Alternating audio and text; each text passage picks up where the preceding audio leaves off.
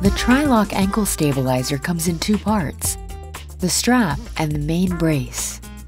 Attach the Velcro on the strap to the bottom portion of the main brace, closest to the heel. Slide your foot into the main brace.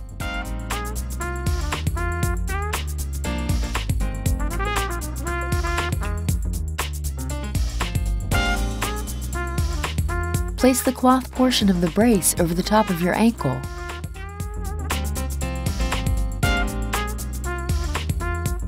Bring the two small Velcro straps across and connect them to the other side of your brace. It should be snug.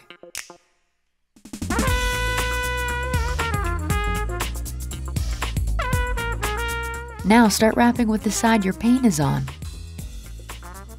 End the wrap on the same side that the strap came from. Tug lightly to connect it back to the main brace. Repeat this process for the second large Velcro strap on the opposite side. Finish off as seen here.